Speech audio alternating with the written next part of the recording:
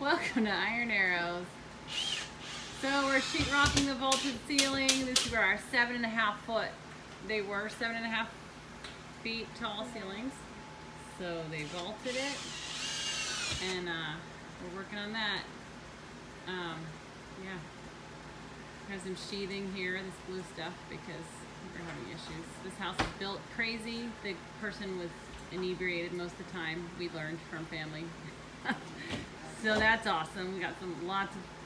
We have a lot of crooked walls, but hey, it's home. It's good. He's working to make it better. So we have our little piano area there. We'll bring our piano in and put a light over it, and then we have a bench underneath all the tools. So starting to feel like home. So we're enjoying it. Um, the other couch, we have a couch on this this side of the wall, and then we have a couch here, and uh, cozy, and we like it. So there you go. Here's our remodel update.